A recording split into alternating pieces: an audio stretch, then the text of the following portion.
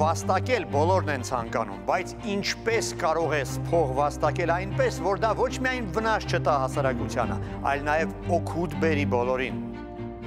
Ռիչարդ Ազարնիա, սոցիալական ներդրող, Մլինդա ոչ կառավարական կազմակերպության ղեկավար, Good Investors ներդրողների ցանցի համակարգող։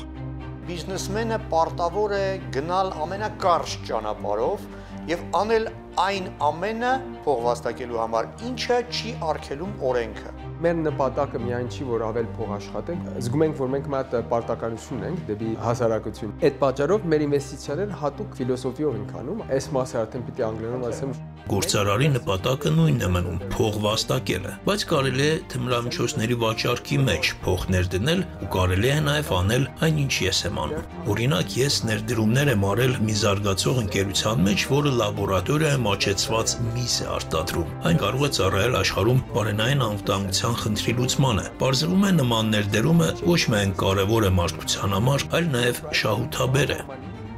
Դիտեք Կիրակի ժամը 23-ին։